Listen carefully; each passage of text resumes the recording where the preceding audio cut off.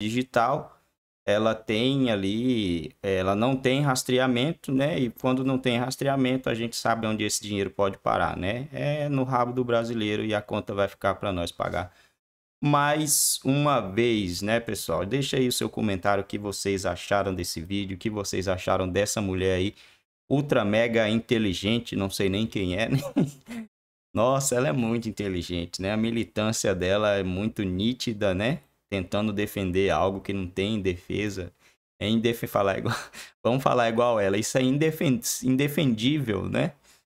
Insur. Cara, é lascação no, no rabo do brasileiro, pessoal. Não tem para onde correr. Se essa moeda digital é pior do que a gente pensava, né? Pensava em uma moeda comum no, no continente, mas não é uma moeda digital, uma moeda virtual comum, cara.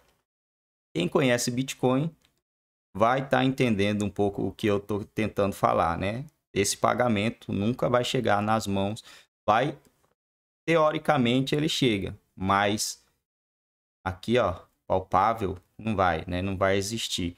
Uma hora ou outra esse rombo vai aparecer da mesma forma de Cuba, Venezuela, e ela falou numa convicção, é simples assim, e ela só não explicou o rombo que está aí, né, de 3,5 bilhões que esses países ainda devem para o Brasil e a conta ficou para o pessoal, né, para nós e para o pessoal também que fez aí essa letra tão eu comecei a não gostar muito dessa letra aí.